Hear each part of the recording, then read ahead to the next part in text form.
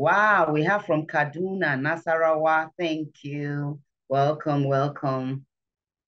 Wow, Family Worship Center, Abuja. You're welcome.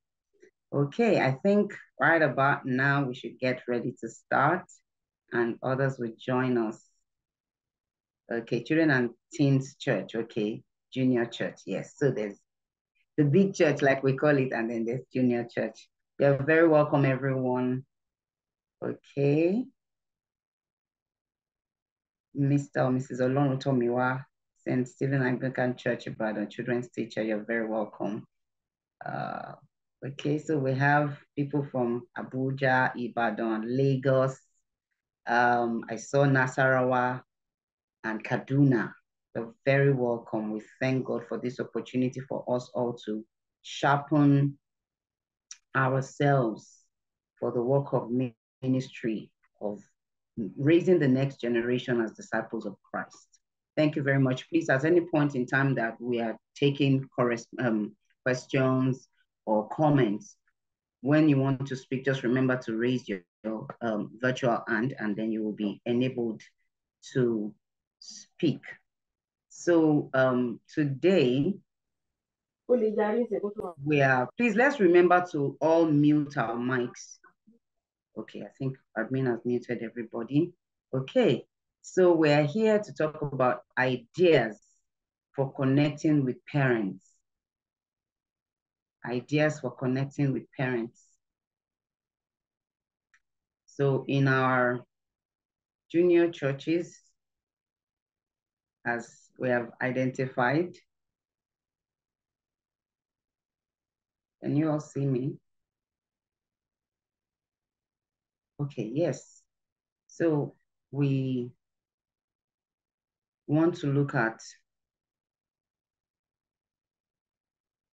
ideas for connecting with parents. Um, so let's start. My name is Olaide Adeyemo. If you've been on the call since morning or uh, you just joined just before now, um, um, I am a, I don't need to go through my profile anymore but I'm here just to um, facilitate this session, meaning that I won't be the only one speaking. Um, we'll all be talking and we want to talk about ideas for connecting with parents as children's teachers or as teenage teachers in the children's church. So we're talking about ideas for connecting with parents, Olive Tenders Conference 2023. And um, before we get into the conversation, I want to hear from you first, you know, about this breakout session. Should we really even be gathering around this topic? So I want to see in the comment section um, your, your reaction. Do we really need to be connecting with parents? I mean, we are in, the parents are with the pastors in the big church, as we call it. And we have the children with us. We are their own pastors. We're working with them. We have our hands full. If you're working in the toddler class, you're busy doing potty, business, you know, biscuits, and all those things. Um, I want my mommy. I mean, so your hands are full. If you are working with school age children, there's all sorts of drama in there as well. If you're working with teenagers, you have another level of another kettle of fish. So really, do we really need to still add parents to our our our buffet? If you want to talk, I can take one or two people. If you raise your hand. If not, um, okay. So I can say people are saying yes, we do. Yes, parents are the main stakeholders. Thank you very much. Someone has their hand raised. I'll just take one person. So yes, please. Thank you. You're welcome, ma'am. Yes, I think um, it's a topic we need to discuss because um, just relating with with the children without having to connect with the parents may just frustrate our work. Mm. You know, because there are some parents that have this mindset that their their their minds have not been rewired to they want to raise the children the way they've been raised they want to mm. do things You know, I remember if a father telling the child not to learn memory verses because he had exams to write. And I had to speak with him and tell him that, do you know that the word of God will even help this child to, to understand with the help of the Holy Spirit, even if thought is better. So wow. if I don't didn't have to go to that parent, I the child, I would just be working on the child and the parent will be frustrating my effort. So mm. we need to discuss this topic because some parents actually need their minds rewired so that they, they can help the children to grow. Thank, Thank you. Thank you so much. Thank you so very much. In fact, you have opened the floor because when you see my slides, you will see that you have dived right into the conversation. Thank you so much for that contribution. So we are all agreed that we should be having this conversation around um, um, um, our, our connection with parents. Okay, so now why do we need to connect with parents? She has mentioned something that is so cogent, you know, that our efforts can be frustrated if we don't engage with parents. So you can be doing a fast, fantastic work with the children and teenagers in your church, you know, pouring yourself out, you know, dishing out the word of God, instilling the right values.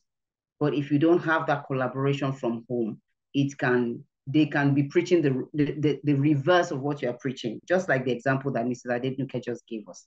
So um, we, we are really um, um, very, uh, we need to get engaged with parents so that there could be a good collaboration. So the first point I have here is that we are called alongside the parents to nurture their children. The children, someone said that parents are the main stakeholders in the comments, you know, and that is so true. I mean, that's just the truth. I mean, they are the first custodians that God is going to, God has saddled with the responsibility of raising the children. But then in the family of faith, all we all, children, parents, and teachers, being in the family of faith, we as parents, as teachers, are collaborators called alongside to help the parents to nurture their children in the way of the Lord.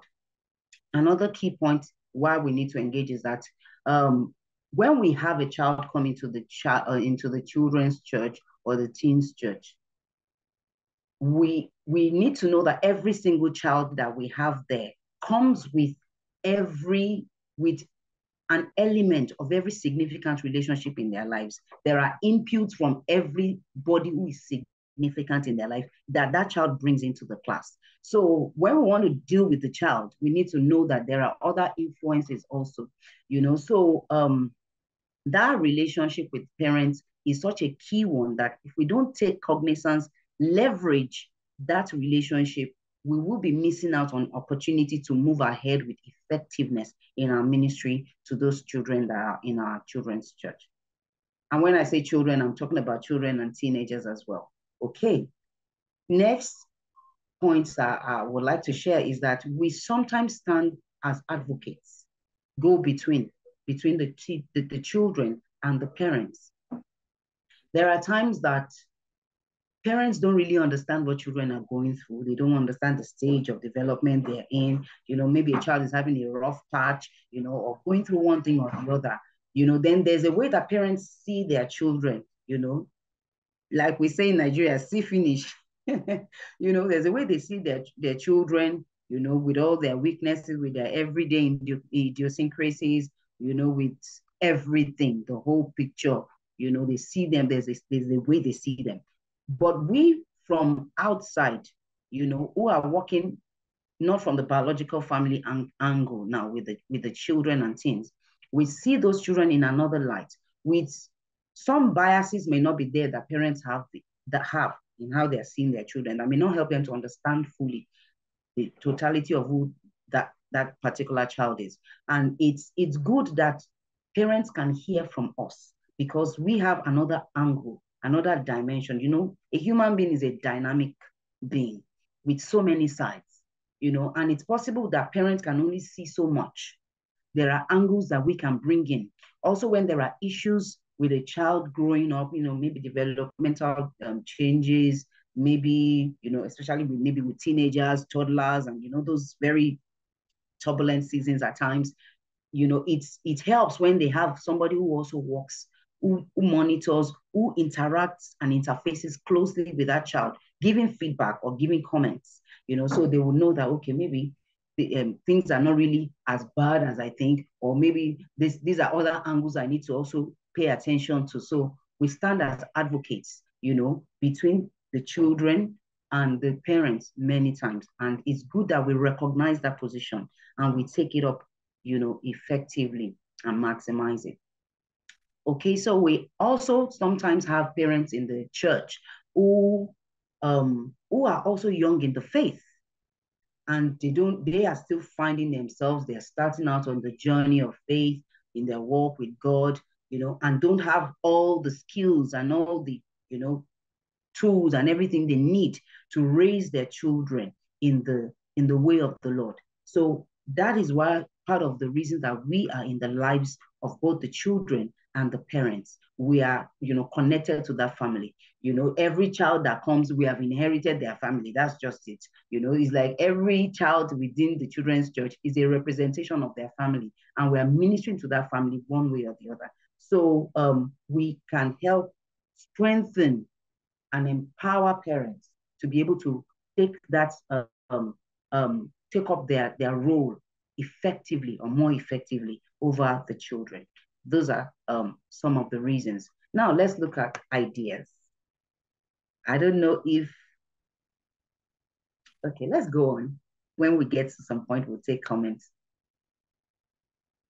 Um, so I like the comment, and I'm so glad we took that uh, comment. We let uh, Mrs. Adedunke, I think I got the name, um, speak, you know, because she she went straight to the first point that we have on the slide for this for this session, you know, mentioning the example, you know, and how she engaged the parents one on one. It's not, I mean, for that particular situation, giving an instruction within the children's church cannot help that situation because if you just say, oh, make sure that you do your um, memory verse and tell your parents to encourage you or to support you or to help you. You have not helped that particular child she gave, in the example she gave us, you have not helped that child because the parents didn't think that a child that was writing the exam should also should be learning memory verses. You know, um, what the Bible actually says it, it's in the Psalms. I don't know which Psalm now that I have more understanding than my teachers because I meditate on your word. And that's the principle that she was able to use to explain to that parent that you know, if the child actually even memorizing the scripture enhances their capacity academically. And that's scripture, you know. So that one-on-one engagement is what um, um, sealed the deal for that particular family, you know, and that child was able was was helped, I believe, by what the teacher did, engaging with the parents one-on-one. So it's not enough for us to just stay in the children's church, minister to the children, and or just send messages to bulk messages to parents uh, or just you know inform them generally about this and that you know it's important that we take on one-on-one conversations with parents you know it's important that you know we can demonstrate maybe show make a comment about a child you know that oh this is how this child is doing now if you are going to say something that is not too positive it's very important that you come up with a solution before you even start the conversation. So you want to report a child or something like that. Make sure that you don't come from the angle where the parent begins to feel, ah, this child, you will not kill me, you know, or that what is wrong with my child, or where the child, where the parent begins to feel hopeless, like there's something wrong with the child. We, not, we must be careful not to come from that angle. Okay, so we come, address the issue. Don't try to paint the child in any particular negative light to the parents, you know, because that won't help in any way. Go straight to the point, address the issue, and provide solution. Have a conversation and engage with the parents on how we can work together to help the child.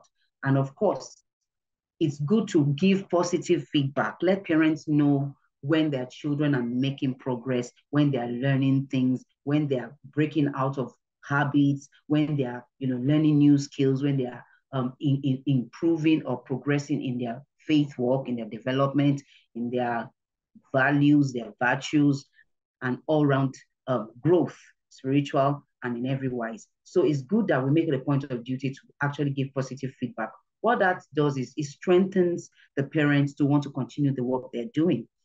You know, they are encouraged and they also get to value our own input. They know that this person is actually genuinely interested in my child. That's what these one-on-one conversations do.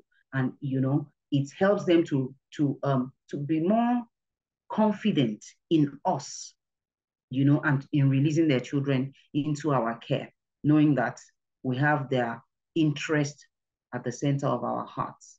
I hope um I I won't be seeing comments. I hope we're gaining something, you know. So please, you can put your comments in the box over these things that I'm saying. I'll get to look at the, the comments soon. Next is to celebrate important milestones in the lives of the children and their families. Like I said earlier, when a child comes into the children's church or teens church, as the case may be, you have inherited a family. You may have only one child from a particular family. You may have two or three children in your church. But the truth about it is that they are just representatives of their entire family. And we need to know that their joy is our joy, their journey is our journey, their challenges are our challenges. We are one family, you know. So it's good that when there are things that are going on in the lives of these children, we celebrate with the family. If there are things going on in the family, we celebrate with the family. And if for any reason there's something, maybe a downtime, we let identify with them, you know, pray with them if we need to, comment and encourage them, and we weather through it together by faith as a people of faith that we've been called to be. So birthdays, graduations, you know, um, employment, say for a teenager, for example, who has gone to school, get who has finished school and, you know, just touch down, touch base with the parents and just say, oh, congratulations on this. If you can show up, if you can give a gift, you know, send a message, make a call, just to acknowledge that we are with you, we celebrate with you, and we're in this journey together. So that that also registers, you know, that these these children and teenagers are part of us, and we are not just doing it as a duty, we're doing it out of a delight and you know, as as as a, a ministry that is heartfelt. Okay, next, it's very um, good for us to encourage parents to have real life conversations with their children. You see, um, a lot of times, children cannot merge what we're doing on Sunday with everything going on Monday to Saturday. They don't see how patience that you taught them on Sunday plays out on Monday to Saturday. But if a father caught somebody in traffic, for example, is impatient or something, and then they have a conversation around it and say, ah, God help me. Can you see? We, we need, we, I, I need to be more patient, you know, you know, be, be vulnerable. So we need to have those conversations with, with, uh, with our parents. You know, we'll still talk about opportunities that where we can have those kind of conversations, either one-on-one, but basically, you know, generally where we encourage them to be real we don't, you know, I don't know, many of us will know this um, joke about the parent that's always saying, ah, why are you scoring this, this low grades in school? When I was your age, I used to be first. And then maybe one day the child sees the father's report, report card or something like that. And so that the father was not first all the time or the mother was not first all the time. You know, let them, let's be vulnerable with their children. So uh, let's encourage parents to be vulnerable. Let the children know that you are also on this faith walk. You are also growing spiritually. Now we are on a journey. Now what we are reading in Bible, we are internalizing it and we are imbibing it and we are acting it out. So within the home, we have, you know, parents modeling the things that they are learning. Of course, we are all grown, we are not perfect, but they can see that we are making effort we are all striving towards the mark of the high calling, you know? So it's important. What this does is that the faith becomes a real thing that they can follow.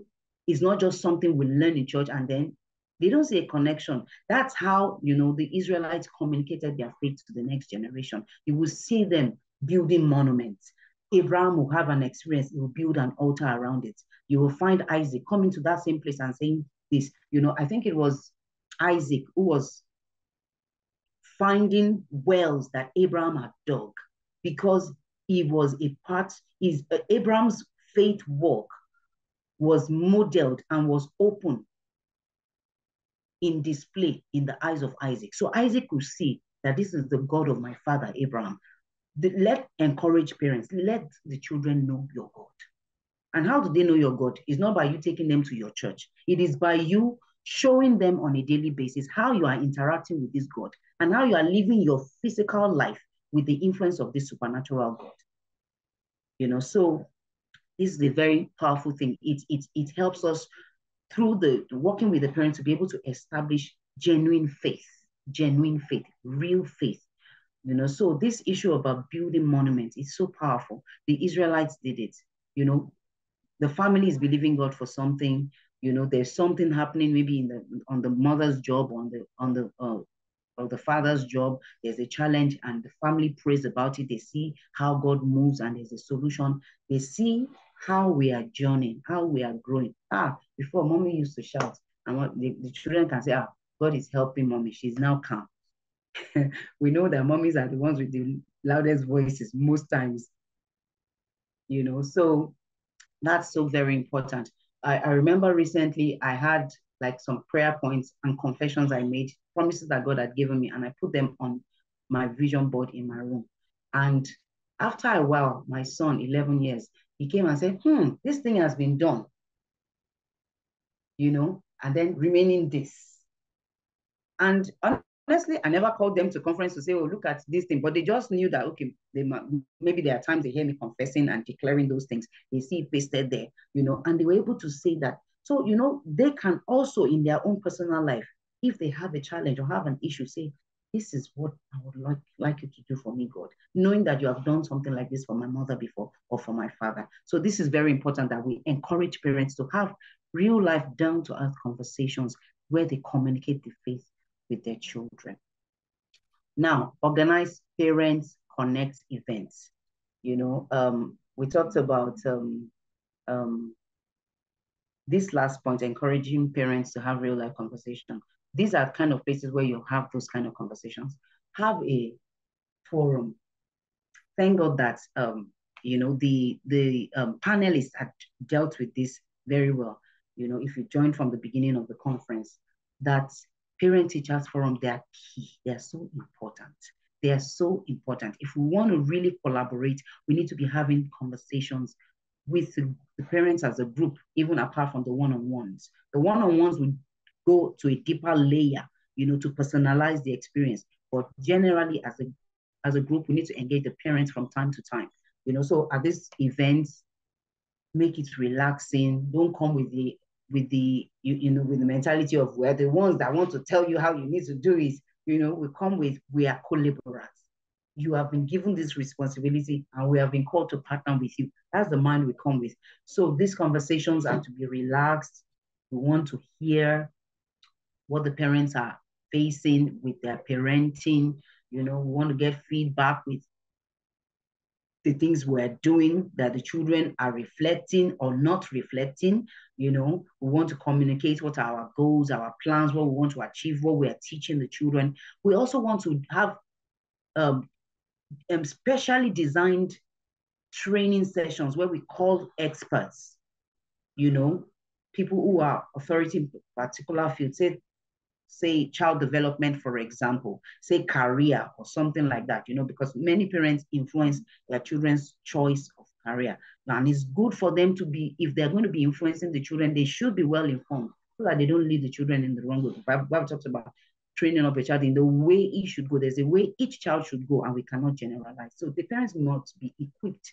And these parents uh, connect events, parent teacher for fora are you know, places where we can have those um, clearly stated conversations where we equip them, we share resources, you know, if there are links, if there are apps, if there are, you know, different things that they can use, ideas. Then parents also talking together. You know, it's good to have this generally. Then it's also good to have it, you know, on a um, on a uh, common ground basis meaning something like you have two parents of children within a particular age range. Let's say toddlers, for example. You know, so when one parent is saying, ah, feeling overwhelmed that, in fact, my child cannot sit for 30 seconds. And other people are saying, ah, you're only sitting for 30 seconds, for 25 seconds. Mine cannot sit for 15 seconds. You know, and an expert comes and says, within this age range, don't expect the child to sit for more than this number of minutes. It's natural. Their brain is very active. They're absorbing so much from the um, from the um, environment. They are learning. They are discovering things. They are testing things. They are tasting things. You know, so the child, that parent who hears that kind of thing from another parent or from an expert has a rest in their mind that, ah, okay, something's not going wrong with my child. Say, for example, there are times I've had parents who were worried that their child wasn't speaking maybe like two, and they say, ah, the vocabulary is still so few, or you know, maybe the child is having issues, you know. But when they see other children within that, other parents within that age range who have gone through that thing or are going through the same thing, they recognize that, oh, it's not a problem. And if there is a problem, they're able to say, oh, my child is different from the milestone or the, uh, you know, the bandwidth of development, then what can we do? You know, so that we can help the child um, um overcome whatever challenge they're going through. So those um, parent connect are very vital. They are so, so important. I remember last year, uh, I worked directly in the Teens Church we had a teen summit, and the last day we had a parent teacher forum. Before then, we did a Google form for the teens and for the parents. And we had the parents, we had questions, things we wanted to find out, you know, how they were engaging with their teenagers, how they were, how they viewed their teenagers in their spiritual growth, the things they were not happy about, things they were happy about, how they, you know, just rate your child, something like that. How do you think your child is doing in this area? You know, so we had feedback from the parents and we had feedback from the from the teens. Also talking about what is their relationship with that's that's aside. That's not even what we're talking about. So when we came to that meeting, we had an overview of okay, generally in this area, this is what most of most of the parents are saying. Generally in this area, this is what most of the parents are saying. And it helped our conversation when we came together. Of course, we still discuss other issues, you know. So there are um, developmental issues, there are um, um, spiritual growth issues, you know, how are the children faring academically? How are they doing in their health? Those are different things that we can have in this parent uh, parent teacher connect, and um, they will really help a lot to move our work forward because the parent the parents are better equipped. They have uh, a clearer view of what's going on, a, a, clearer view of what should be happening, you know, and all that. Next, um, involving parents in what the children are learning. So it's very good that we com we communicate and let parents be involved. So if there's something that they're learning or they've learned something, for example, let the parents know about it. Let them participate, let them support, you know, let them pitch in on those things. It helps to reinforce the work that we're doing. And, you know, they can follow up at home. If they know that you're teaching a particular thing, you know, uh, uh, a virtue, a value, or let's say a fruit of the spirit or something, you know, they can help to encourage the children to pressing into it and learning it even more.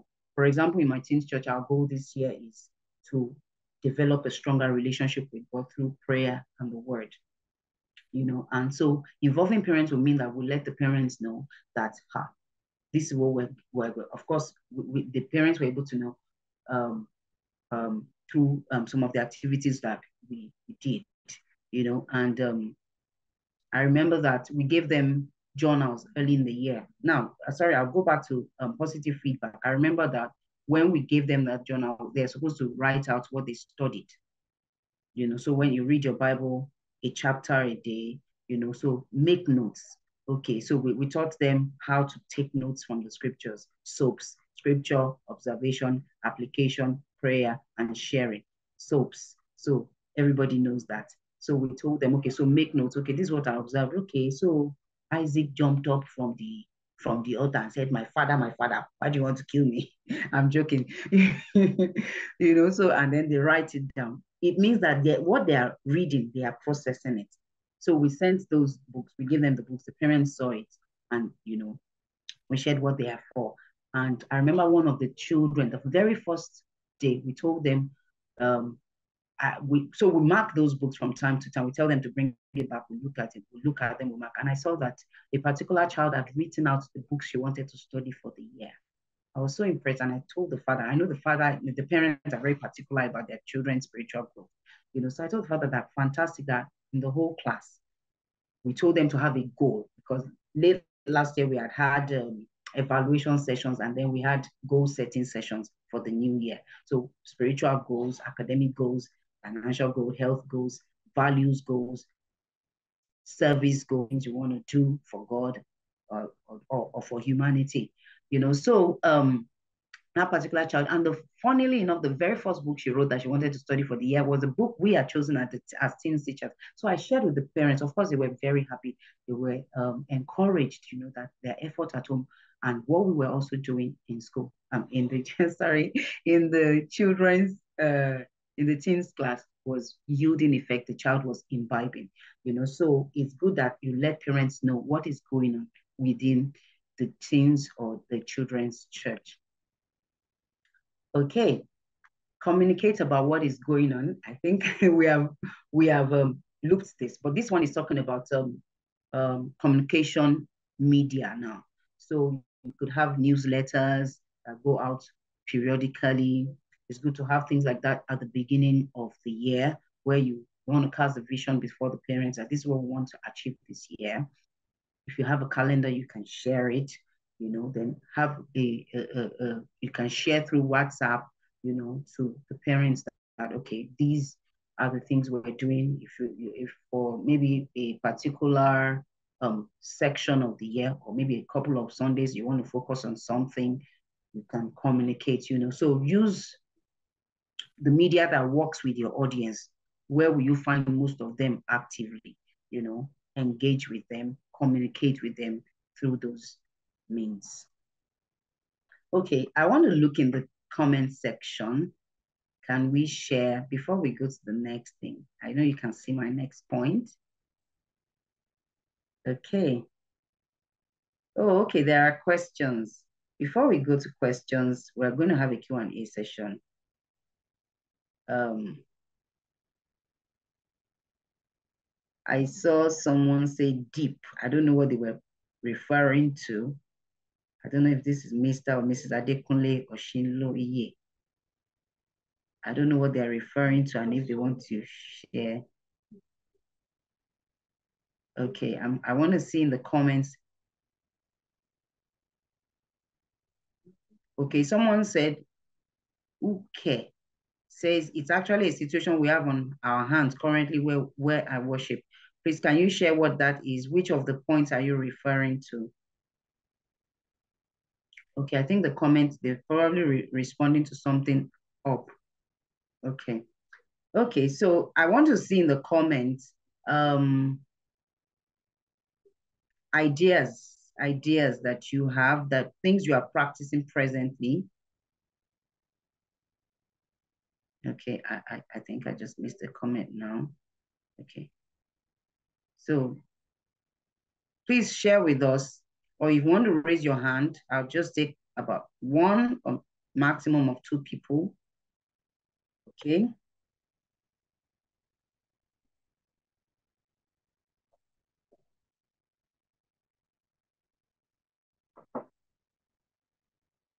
Okay.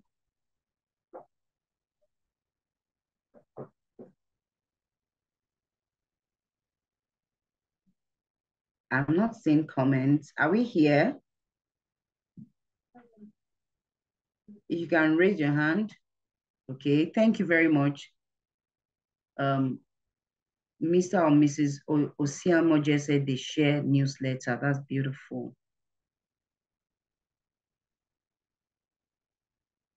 I want to hear, what are you presently doing to connect with parents in your ministry?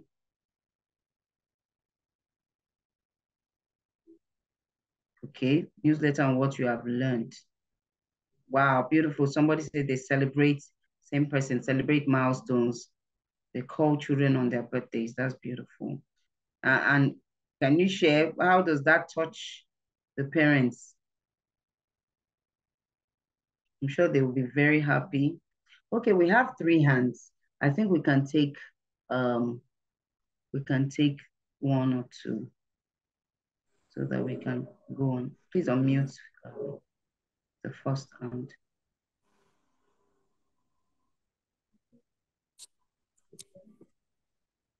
No, please don't take uh, Mrs. Adeduke. She has spoken. Take either Mrs. Adekunle or take, um, oh, so take one of the other people so that we can hear others as well. Send report okay. on WhatsApp. Okay, you're welcome. Thank you, everyone, and thanks for this session. My name is Uke. Um, so I was one who posted the initial comments when you asked about um, if it was a relevant topic, and I'm saying yes, it is.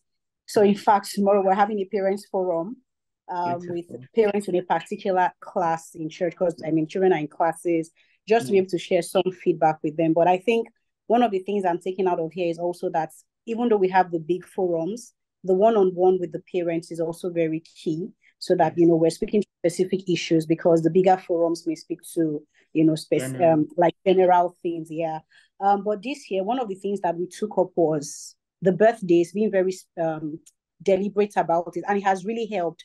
So mm. places where the parents were not very receptive, you know, because the children don't have phones, so you're calling them. I'm a children instructor. So you're calling them mm. to say, oh, we're calling because it's the child's birthday. They're very happy. And then we're also going around with visitations. It's quite difficult because I'm in Lagos.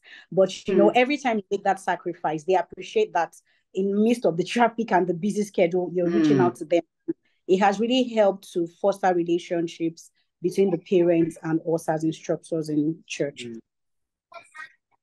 Thank you very much. Thank you. I think we can take one more person.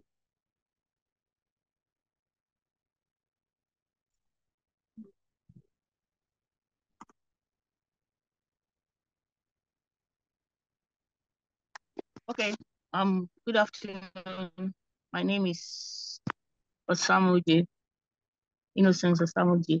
Um, like I said, one of the things we do, we we um call children or send text to their parents' phones on their birthdays. On their birthdays, and the reception has been quite okay. They are they are happy, and then when our children when the children are leaving our classes and going to the next set of class, we give them gifts that their parents are aware of, just to like uh, to bless them. Um, we do, we don't really have the um parents forum. We've not started it, so that's one of the things I'm taking in this um meeting. Yeah, that's we need to ex establish that. We need to establish a parents forum. What we try to do is try to talk to parents one on one, but it's not really been received very well. So I think with the Parents Forum and the ideas that have been suggested, that will help us a lot. That will really Thank you very much. Thank yes, you. I believe so too. I believe so too. So the, the one-on-one, and the my um, plan is as we go now, go to the office, the we'll sit down. Please mute yourself. The one-on-one and the group meetings, you know, walk hand in hand, you know, so it's good to layer them together like that other than having one instead of the other. Okay, so our next um, um, idea I want to share is about creating open house where parents can participate in the children or teens church. So have particular days, or if you want to keep it open generally throughout the year, where parents can actually volunteer to come and spend the time to come in, you know, and support the teachers or some can even just come and sit in to listen along with the children, you know, just to learn at their level and, you know, just to see really what they're being taught and how they're being taught. So that some parents want to know how you're communicating with their parents, with their teachers, pardon me, with their children and getting their attention because they don't know how to communicate with them at that level and get their attention, you know. So it can be allowed for them to come in and sit in in the classes and just see how you're communicating the faith, communicating values, virtues, and all sorts of um, important um, things to the children. So it's good to have time, um, those times where parents can actually come in. They can help with the service. You know, you can assign them to do one thing or the other. You can ask them for what they can do. And if they are experts in something that you need, you know, you can bring them in. If you want to strengthen your praise and worship, you know, for example, you can have somebody who is a, a very sound worship leader and a parent come in from time to time to come and strengthen maybe the praise and worship team, you know, and minister along with the children, you know, and just model that worship, true spirit-filled worship to the children, you know. So, and that also takes the burden off you for that time that the parents have to be the ones actively doing that particular um, activity. So it's it's it's a very um, it's a very good thing. Uh, we just pray that God will send laborers, you know, in the person of parents, you know, that God will really touch their hearts. But I believe that when we have these conversations, these engagements with them, it's easier to have them coming. You know, when there's flow of communication, they know what we're doing. We're calling when they are their children and are having special um, occasions and milestone developments, birthdays, and the family celebrating one thing or the other. It's easy to call on them and ask them to come in into the children's church or the teens church and be a part or contribute something or the other. Um, so the open houses are very, very good for connecting with parents.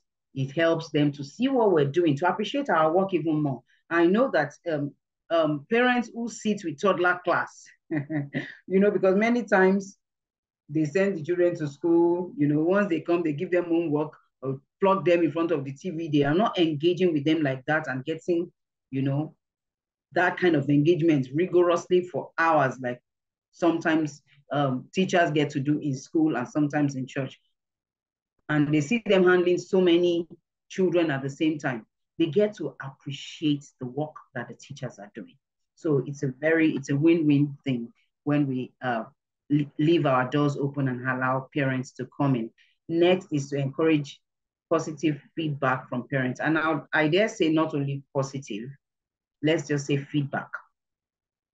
You know, um, if there are things that we're not getting right, it's good that we, we, we keep our eyes and our ears open to hear from, you know, those who are observing our operations, engaging with our operations, you know, interfacing with what we're doing with the children.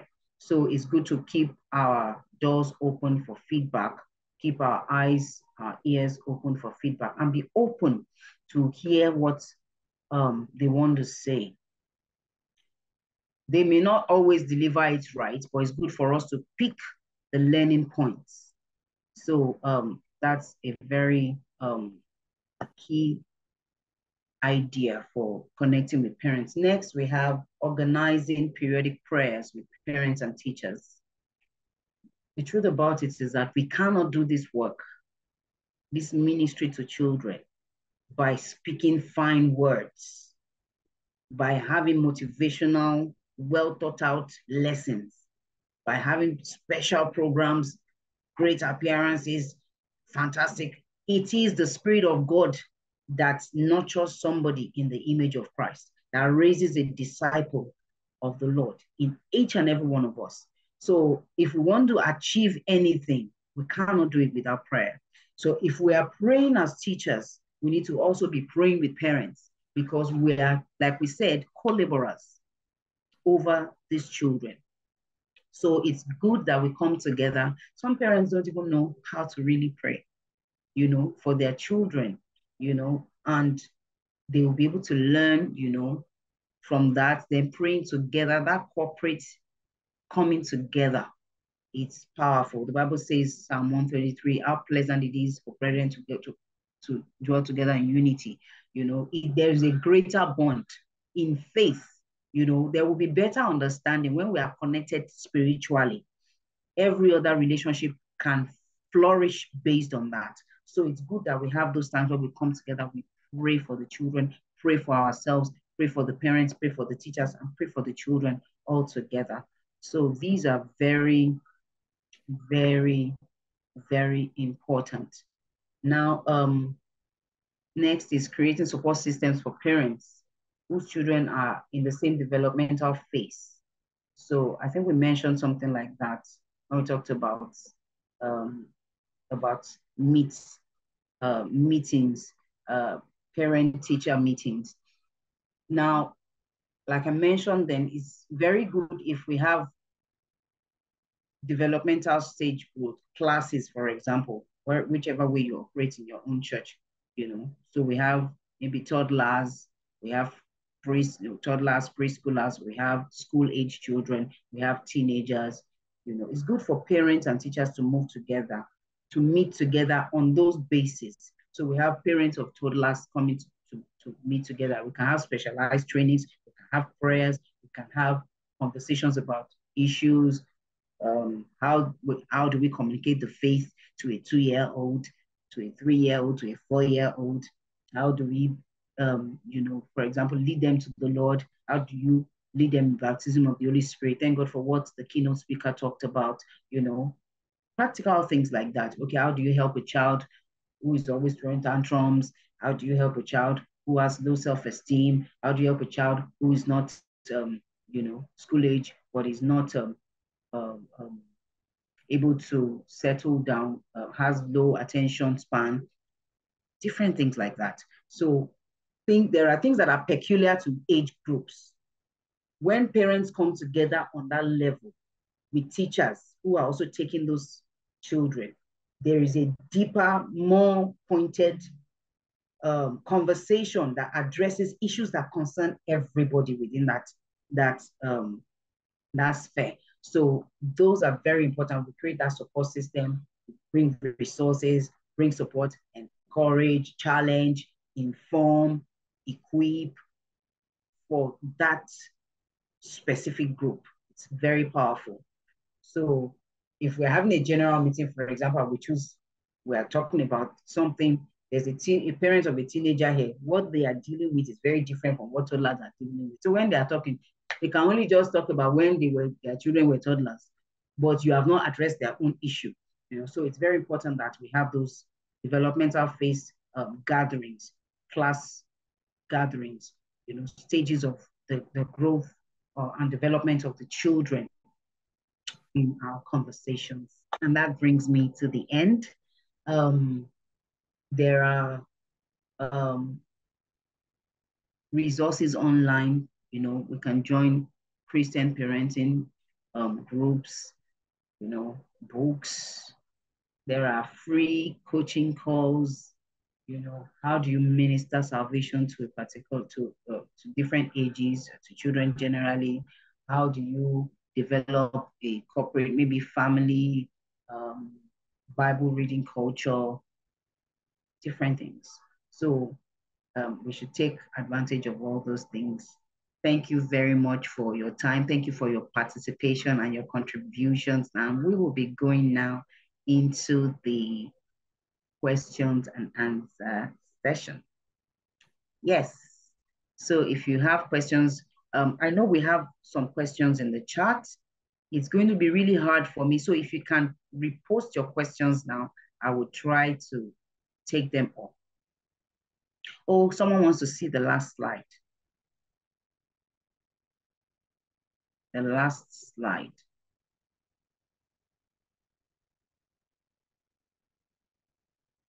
Sorry. Am I still sharing?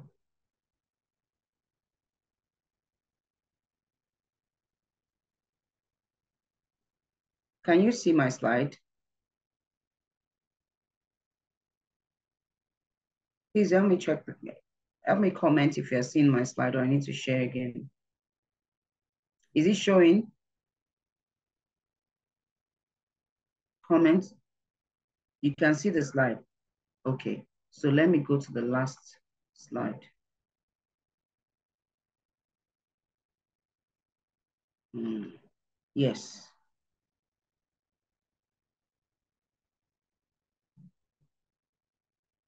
That's the last slide. I'll keep it on so that you can see it while we take the question and answers now.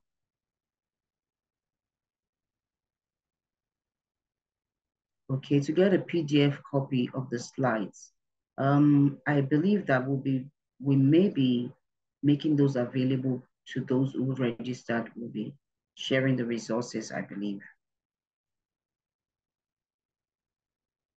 So the PDF You're very welcome. Thank you. Please, let's have the questions. I, I saw some questions earlier when I was asking for comments. Unfortunately, I can't scroll all the way to them. So please, if you posted a question earlier, please post it again now. Thank you. And if you want to unmute, I can take about two people. I think a question has come in. Okay. Um, Christian parenting group. Mm, there are different ones. Um, we will, I think we would put it in the PDF. So the Christian parenting um, sites and other resources as well. YouVersion. On YouVersion, for example, if we all know, I'm, I'm sure we all know YouVersion, you can actually engage your whole class in Bible study, for example. You can have parents engage their family, you know, especially for those children that can read, you know, and have devices. To have family study on YouVersion. How do you share one-on-one -on -one information to parents of the teenager and still earn the trust of the teenager? Thank you so much. That's beautiful. Uh, that's beautiful. So um, the, I think there was, I want to be sure I'm seeing, I'm not missing any question. I think there was one before that. I just want to keep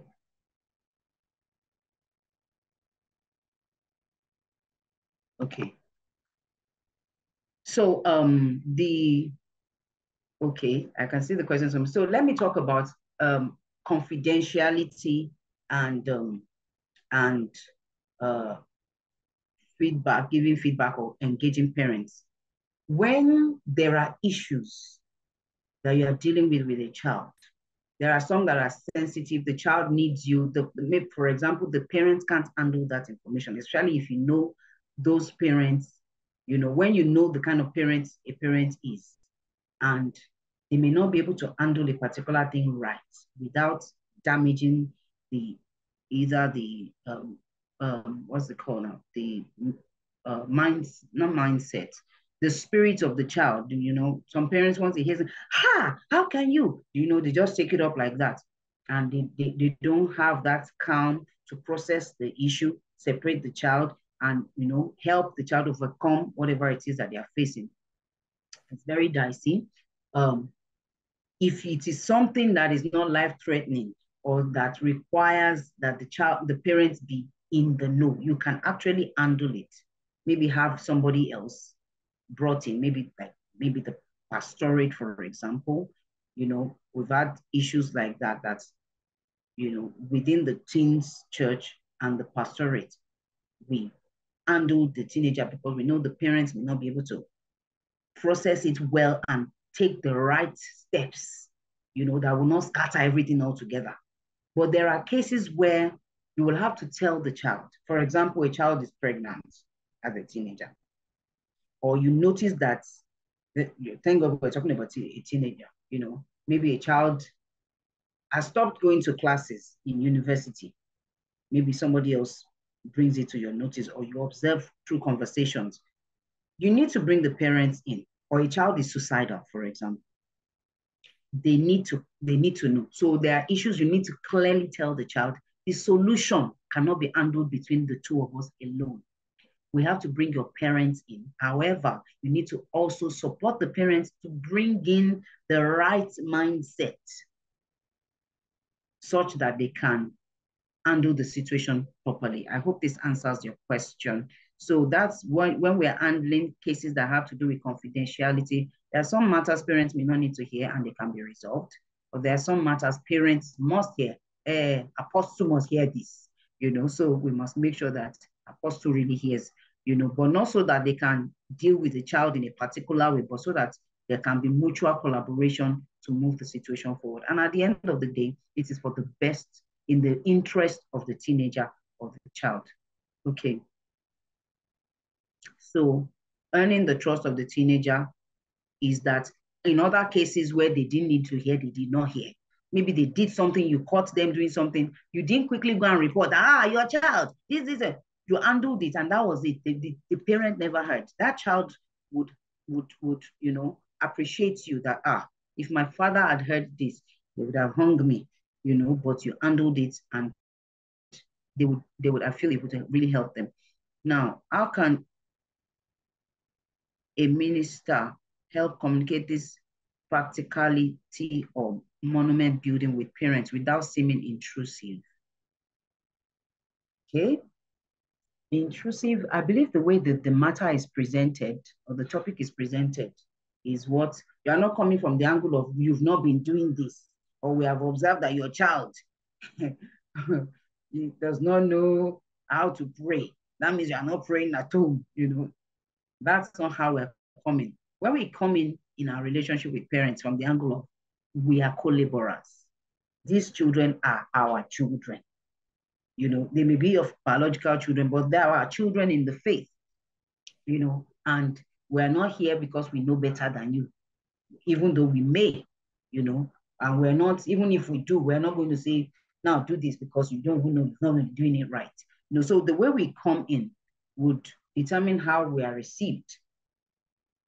Some parents are defensive, no matter what, you know, but when we have all those other things we've talked about, regular communication, comments, feedback, good, good feedback from time to time, the day you come in with something that you want to, and when I feel that this uh, monument thing should actually first of all be, be communicated to the larger group, you know, let's have a, a it in a in a group communication, group meeting with parents, you know, then we can now go deeper on a one-on-one. So in that case, nobody will consider it in, in, intrusive because everybody's hearing it together and it's something that we all need to hear together. So I believe that that takes care of uh, the fear of intrusion. But this issue of intrusion, if you are really engaging with children and teenagers as you should, you will have intrusions because that's why we are here. We are here to intrude into their lives quote unquote, if you get what I'm saying. We're here to get into their matter. You know, that's why we're in their lives, not to just look at them on the face of, wow, nice dress, you're fine, you have listened in class, good boy, good girl. No, we want to know how, how much of these things are they really becoming. So it's about being intrusive, but how do we approach it? We don't approach it from the angle of, I want to see what's going on in your family. Your family is not doing it right. No, we're coming from the angle of, we've observed this, we've been teaching this, you know, we want you to help us follow up at home, you know, encourage them to do this, encourage you, you know, so, you know, so when we come in with positive comments from time to time, the day we come in with something that is an issue, they won't consider it intrusive. The parents that I told about what that child had done, that was very, very commendable at the beginning of the year, and their goal for studying the Bible and how they were following instructions and even went beyond to even do more than we asked. We asked. Well, if I come another day and tell that parent, I observed that as a matter of fact, I've, won, I've done it. I went to the parent and told them, I observed that this and this, although I shared with the father the first time, the second time I spoke with the mother, that your daughter, she's tall. The clothes she wears when she's standing, they are short. How much more when she sits? I know that she's not trying to draw attention to herself, but you need to be watching how she's growing and how the clothes are growing on her, you know. And the mom was had to explain to me that her, you need to know that we fight all the time because our own sense and, and I like the girl's sense of fashion. Funnily enough, she has a very unique sense of fashion, but we just want to make sure that the clothes are the right length, you know. So because we've had positive conversations before, when I came to say, ah, and we watch the length of the clothes, there was no pushback from the parent, even though I was addressing something that a lot of parents will find very offensive. How can you say my child's my our parents talk to me like that? Why, why are you saying my child is and the child is short now, so the clothes is not too bad, you know. So we have it like that. You know, so when we've built a relationship, it's easy to get into those nitty-gritty matters without um, offense. And the way we present it also matters. I believe this helps. Okay, somebody said they've tried once and the parents walked out. Okay, I believe this is, I don't know, the way my, my uh, charts are moving. I, am okay, it's a better view. As I'm scrolling there, just do How do we share one-on-one -on -one information to parents of a teenager and say, okay, I've done that. How do you handle a parent that's always angry with teachers who correct a child's misbehavior? Well, patience, prayer, and getting the right approach as the spirit leads. So um, basically, those are the three things I would say. With patience, with prayer, and the way we come, the approach with which we come. There are some parents that they don't want to hear from outside. Even they don't acknowledge when their parents, children are wrong. It's a bad thing, you know. They themselves do not acknowledge when their child is wrong. And that's bad parenting because you can't correct that child. Uh, uh, and so they can't tolerate it if another person is telling them that the child is wrong. But the way it is presented matters a lot. The way it is, and you remember I mentioned that if you want to bring something to a parent, you must come from the angle of the issue. We are in this together. This is my child as well, you know, and you come with a solution. So you're not just saying, ha, your child is doing this, always stopping the class, blah, blah, blah, blah, blah. No. We can look at, for example, a toddler that you can look, if, for example, the child is always having sugar rush, you can tell them, when you're coming to church, make sure you don't give them things that are too sweet. Do you understand? You know, so we observe that the energy is much. And the way we present these things really matter. It's, it's, it uh, affects how they receive it. Okay. Okay, I'll take one more. I think I'm being told our time is up. We need to round off now. So thank you very much, everyone. Um, if your question has been missed, I don't know if you can put it in the feedback form. Maybe we'll be able to look into it in our future conversations online or maybe in other meetings that we'll be having. I really wish I could take this um, um, one question. So I'm seeing a question here. I really have we been told to leave yet? I don't think so. So how can we minister? How can a minister do one-on-one -on, -one to on very sensitive sensitive issues, e.g., a child is not in school but should be, a child is being used as a nanny, or the child sleeps in, in class because they make they wake up too early to do house chores. Okay, now this is about family functioning. All these things I see. That means there are things going on in the family that require a bit of intervention. So in these kind of things, it may be good to bring in the church leadership because they would likely defer more to the church leadership than, than they would uh, just hearing from what is going on, what you, you have observed through the child. So the child is giving us a picture of what is happening in the family as a whole. I think we should leave now.